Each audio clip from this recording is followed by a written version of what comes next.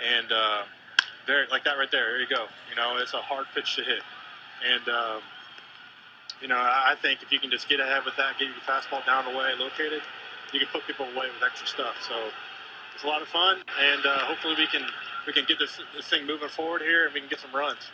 All right, Jonathan. Hey, thanks a lot for your time.